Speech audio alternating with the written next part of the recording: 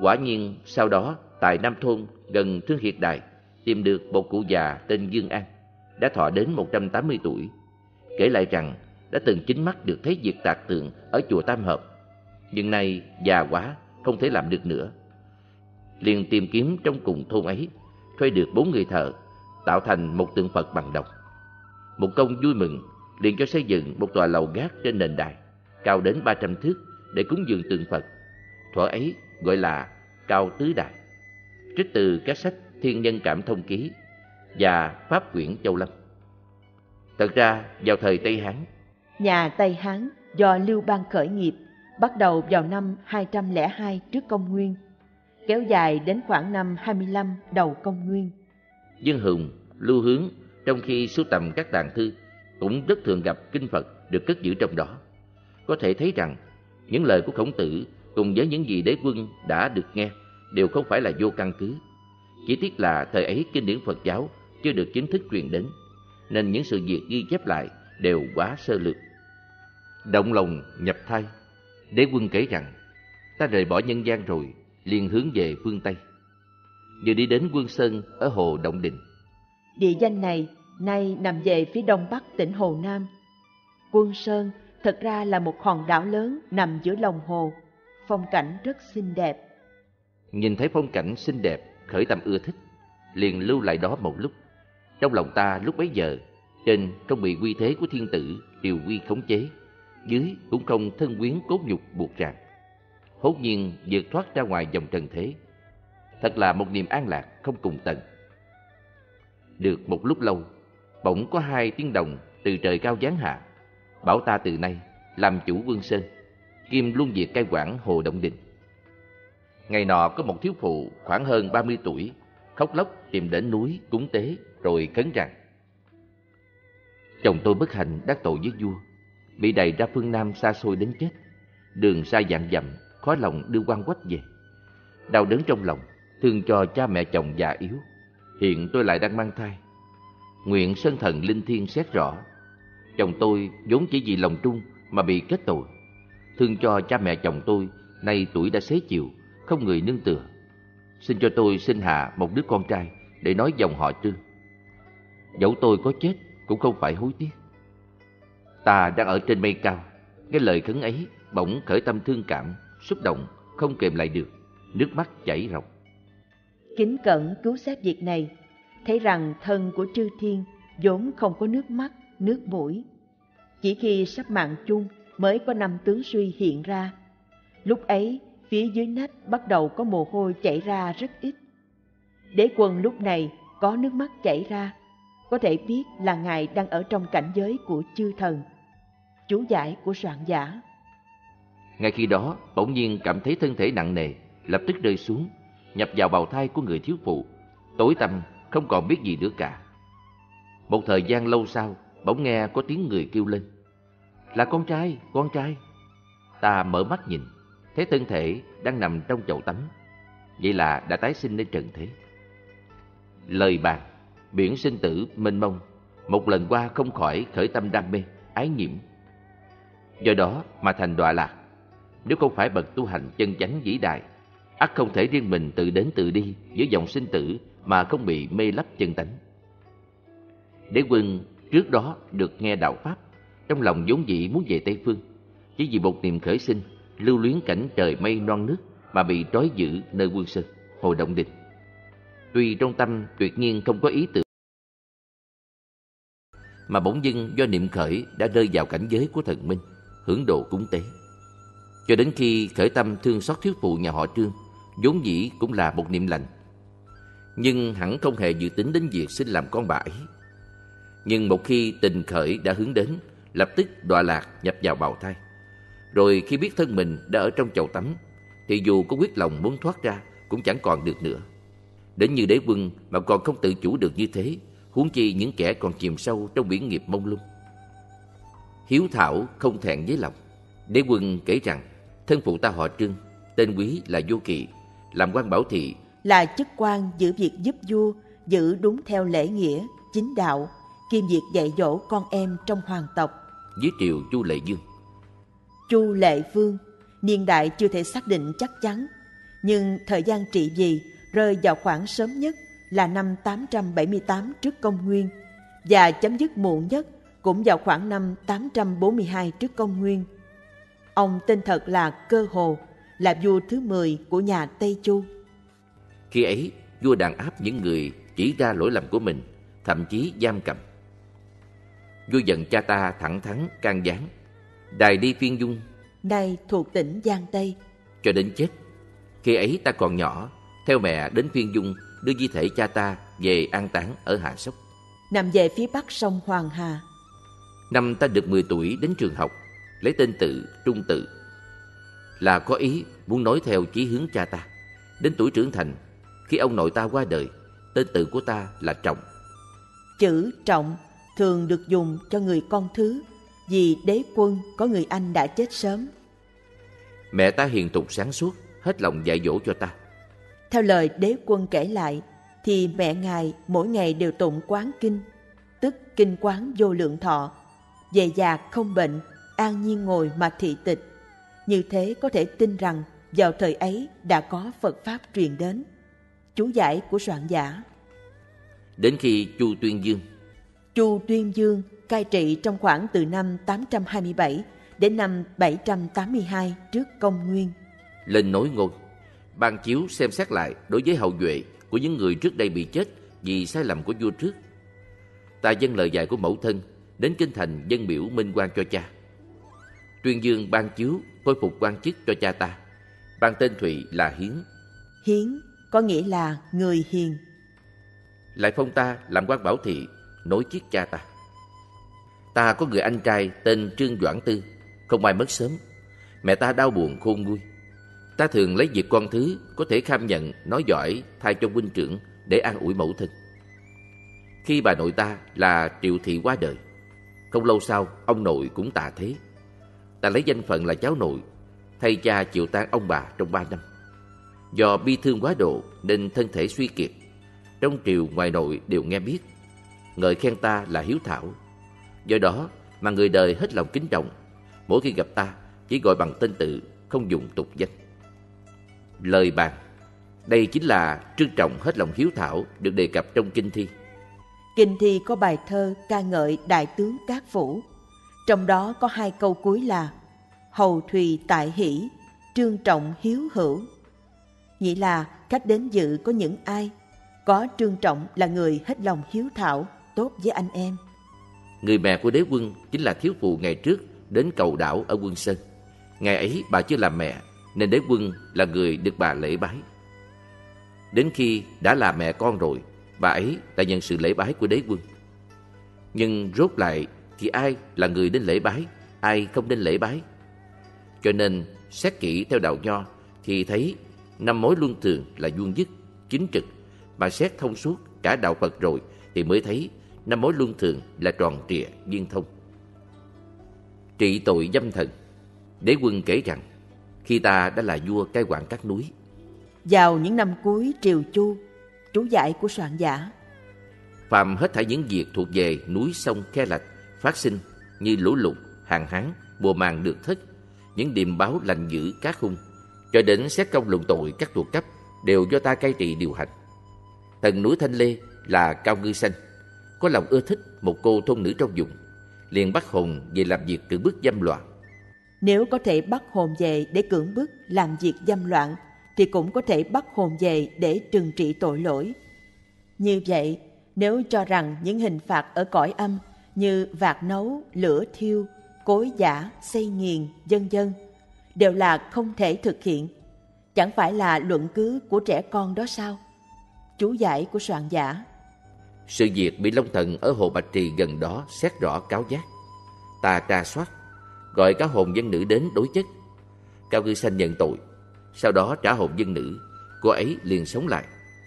Ta phạt Cao Cư Sanh 300 roi đánh vào sống lưng, cách chức.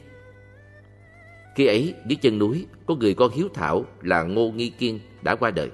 Trước đây từng vì cha mà trích máu chép kinh lăng già, bốn quyển.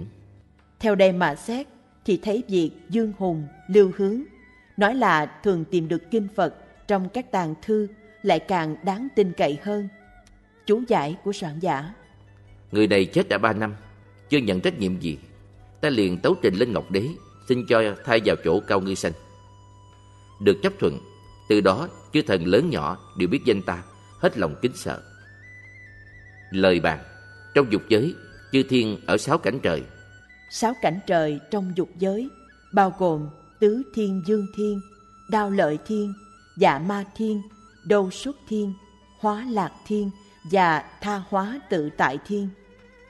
Đều vẫn còn dục niệm, chỉ là vì phước đức sâu dày nên giữ phần nặng, mà chuyện ưa thích nhục dục trở thành nhẹ hơn.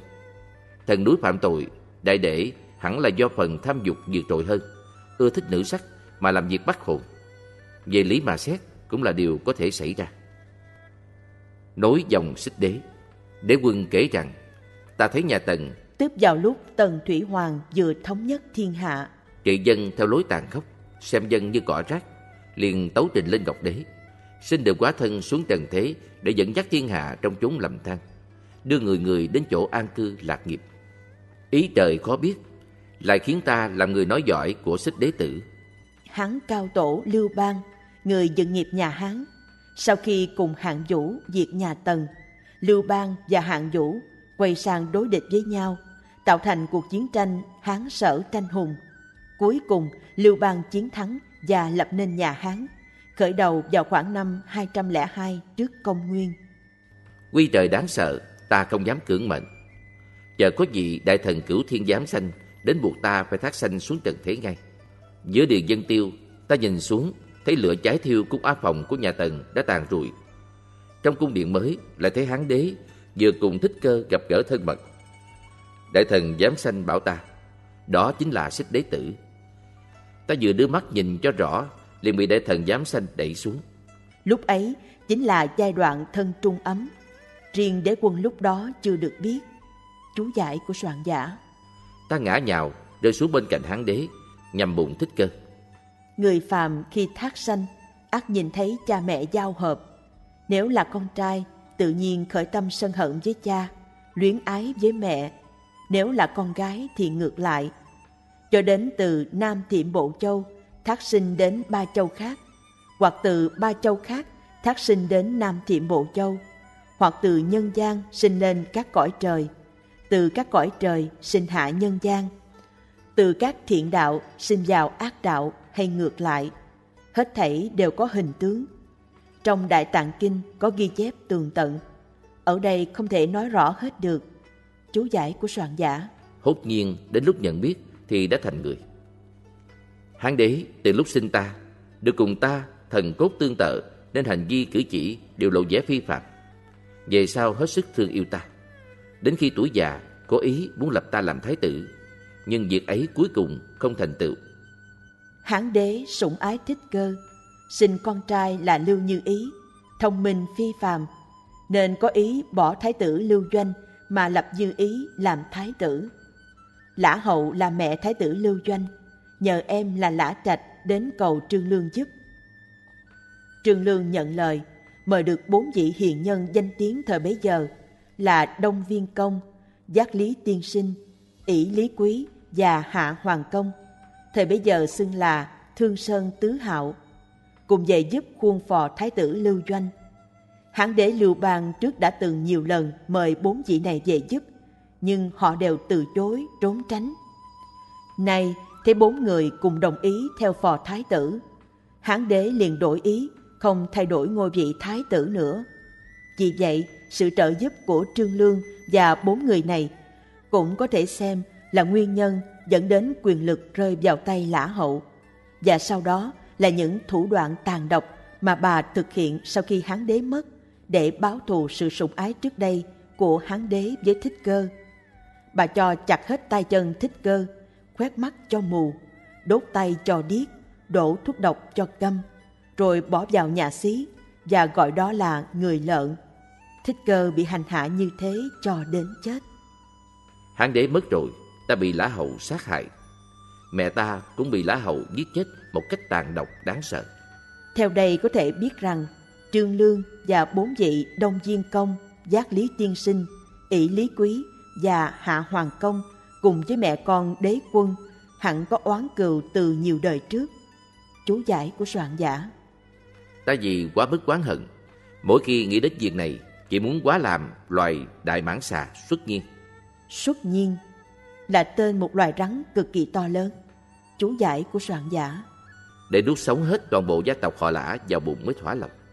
Về sau, quả nhiên hóa làm rắn, cho nên có thể thấy rằng tất cả các pháp đều do tâm tạo thành. Chú giải của soạn giả. Lời bàn Tôi ngày trước mới bắt đầu đọc kinh sách đạo Phật, nghe đến thuyết quán thân bình đẳng cũng như quán từ thân khởi thì hết sức lạ lùng hoài nghi. Đến khi có thể tĩnh tâm quán xét lẽ xoay chuyển tuần hoàn của mọi sự việc, mới biết rằng những lập luận như thế nếu không phải bậc thánh nhân xuất thế, ắt không thể đủ sức nói ra. Lấy như việc thích cơ mà nói, theo lẽ thông thường thì phải xem lã hậu là kẻ quán, mà hán cao tổ là người ân. Thế nhưng lã hậu quán hận thích cơ hoàn toàn là do cao tổ trước đã sủng ái bà. Sự sủng ái ngày càng nhiều hơn, cho đến đã có ý muốn thay đổi thái tử, thì sự oán hận ngấm ngầm của lã hậu khi ấy cuối cùng không thể nào hóa giải được nữa. Giả sử như lúc cao tổ còn sống mà lấy tâm bình đẳng đối với cả hai người, không sủng ái thích cơ đến mức ấy, thì thích cơ đâu phải chịu tai họa tàn khốc như vậy. Do đó mà xét, thì tuy lã hậu cố nhiên là kẻ quán cừu của thích cơ, nhưng hán cao tổ há có thể xem là người ân hay sao? Thằng ôi, đó chính là cái nguyên lý quán tùng thân khởi. Hiểu được nguyên lý này cũng chính là cái học cách vật của nhà nho, chú giải của soạn giả. Phàm sự quán cừu đều từ chỗ thân ái mà sinh khởi.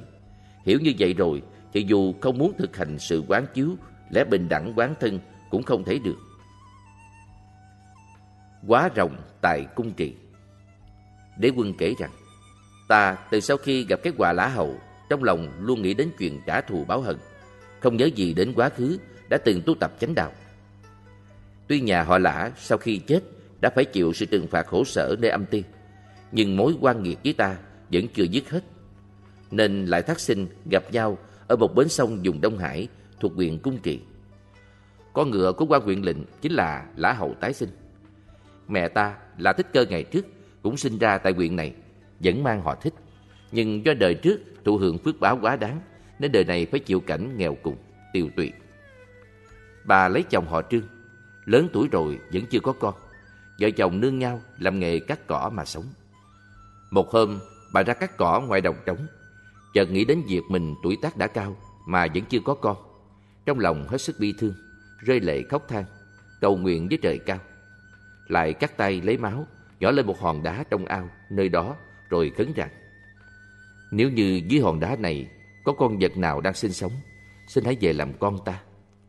Ta lúc ấy xúc động vì tấm lòng thành, bất giác thần thức lập tức chuyển nhập vào chỗ máu tươi.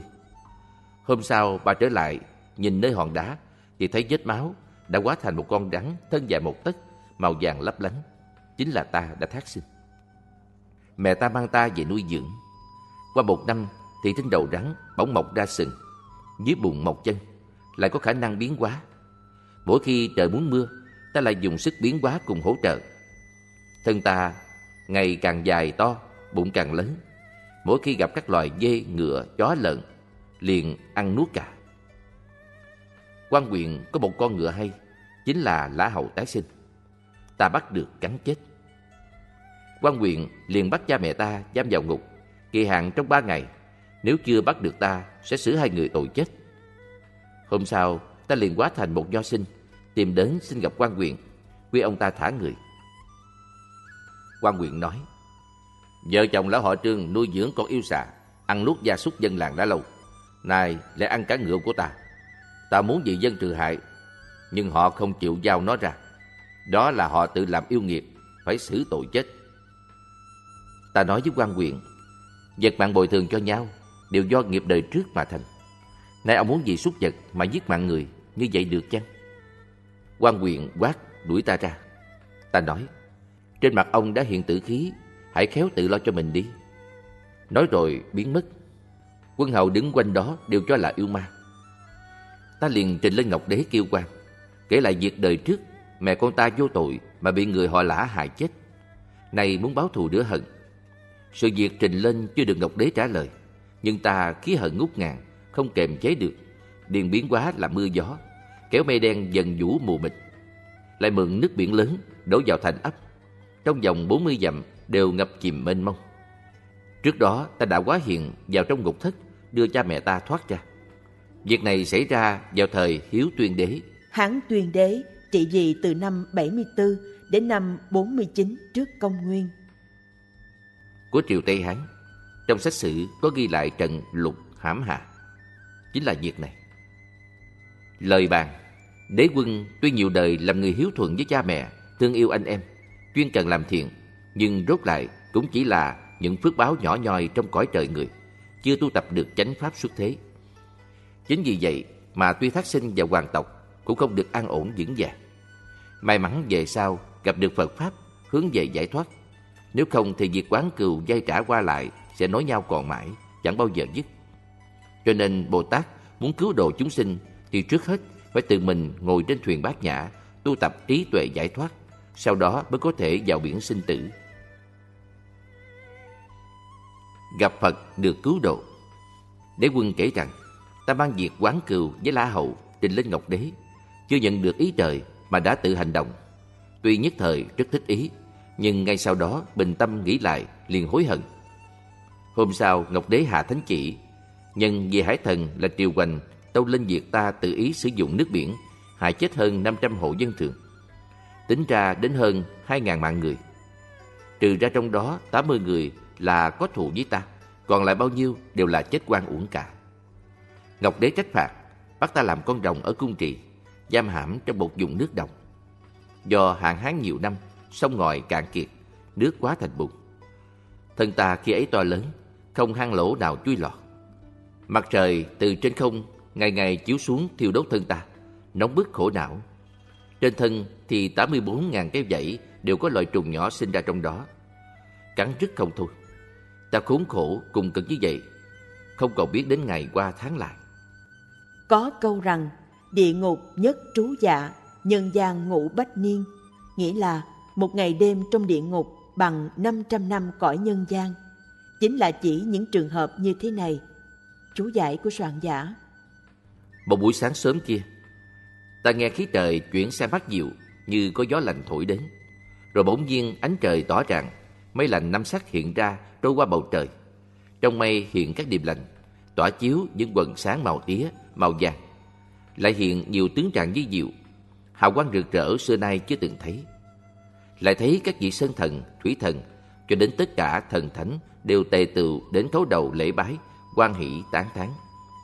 Lại có hương thơm cõi trời lan tỏa, qua trời rơi xuống khắp nơi. Những chỗ qua rơi chạm đất đều hóa thành cảnh sắc tươi tốt như mùa xuân. Khi ấy, ta bỗng nghe thân hình thay đổi, mắt sáng, tai thính, các giác quan đều trở nên tinh tường, tâm được thanh thản, miệng lưỡi tươi nhuận có thể phát được thanh âm. Ta lập tức ngẩng đầu kêu khóc, cầu xin được cứu độ. Các vị thần thánh đều bảo ta rằng, đó là bậc đại giác Thế Tôn ở Tây Thiên Trúc, Đức Phật Thích Ca Mâu Ni. Đấng điều ngự trượng phu, tất nhiên phải hiện thân như thế nay mang giáo pháp lưu hành về phương Đông này. Ông đã được gặp Phật, nghiệp xấu trước đây có thể được quá giải. Ta liền tung người nhảy giọt lên, bay vào giữa ánh hào quang, mang hết những sự việc nhân quả báo ứng đã qua, bạch rõ lên Đức Phật. Thế Tôn liền dạy, lành thai, ông xưa nay thường là con hiếu tôi trung, làm lợi lạc cho rất nhiều người. Chỉ vì chấp tướng nhân ngã mà buông thả tự thân, làm việc tàn hại này có còn ôm giữ sự phân biệt kẻ quán người thân, khởi sinh tâm niệm ngu si, sân hận nữa chăng? Ta nghe lời Phật dạy chí lý, tâm địa tức thì khai thông sáng suốt, không còn phân biệt nhân ngã, hết thảy vọng niệm nhất thời dứt sạch. Tự nhìn lại thân mình, hốt nhiên đã theo các vọng niệm mà cùng lúc đi mất. Đây quả thật là tội tùng tâm khởi tương tâm sám, tâm nhược diệt thời tội diệt vong. Tội vong tâm diệt lưỡng câu không, thị tắc danh vi chân sám hối.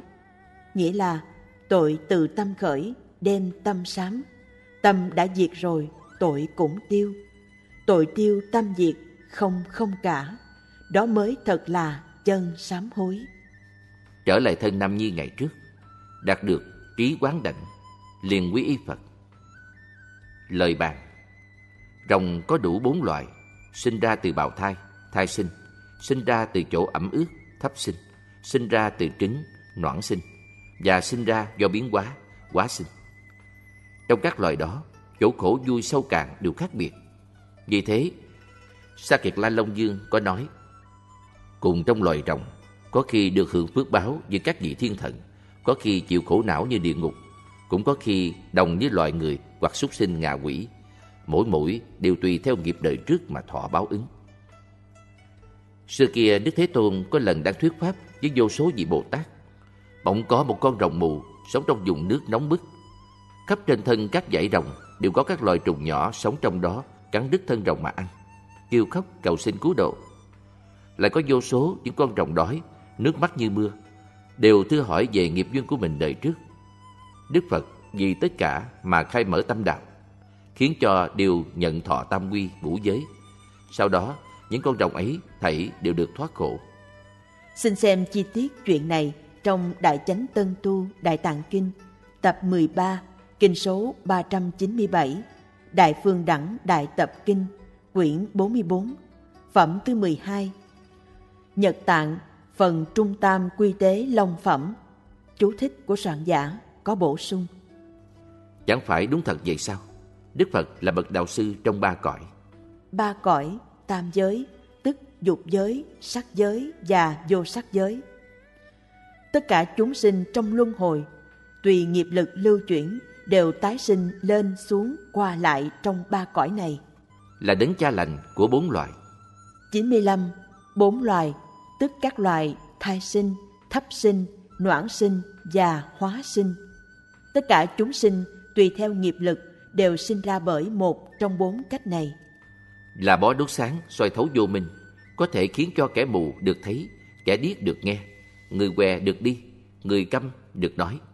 Đế quân trước đây từng nghe lời ca hàm chứa Phật Pháp mà xúc cảm phải dừng xe xuống lễ bái cầu đạo. Đủ biết đã sẵn có trí huệ căn lành đồng sâu từ đời trước. Do đó mà vừa gặp được Phật đã nhất thời giết sạch ác nghiệp đời trước. Hai cõi âm dương giao nhau. Đế quân kể rằng, ta nhờ nhiều đời trước trường làm lành lánh dữ, trải qua ngàn năm lại tái sinh vào đời thuận đế, niên hiệu Vĩnh Hòa. Niên hiệu Vĩnh Hòa rơi vào các năm từ năm 136 đến năm 141 theo Tây Lịch. Trong sách Hậu Hán Thư có đề cập đến tên Trương Hiếu Trọng, chính là ta.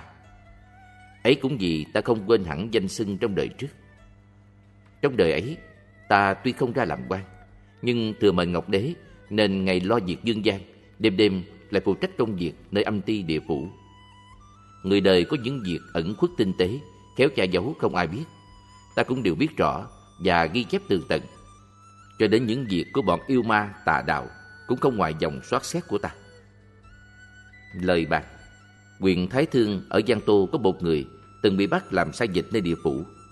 Cứ vào lúc giữa đêm thì thân thể cứng đờ lạnh ngắt, liền thấy mình được âm ti giao cho một tấm thẻ bài và một cây gậy. Trên thẻ bài ghi tên những người bị âm ti tróc nã. Người ấy một khi vừa cầm gậy vào tay, chớp mắt đã thấy mình có khả năng xuyên núi vượt biển Đến đúng ngay nơi có người bị tróc nã Bắt lấy người đó treo lên đầu gậy Thường mỗi lần bắt đến 10 người Nhưng quẩy lên đầu gậy Chỉ thấy nhẹ như lông hồng Đến khi trời sáng liền trở lại như người thường không khác. Người ấy sợ lắm, Tìm đủ mọi cách Vẫn không sao trốn tránh được việc ấy. Có vị Tăng khuyên ông xuất gia. Ông nghe lời, Từ đó về sau không còn bị âm ti sai khiến như trước nữa.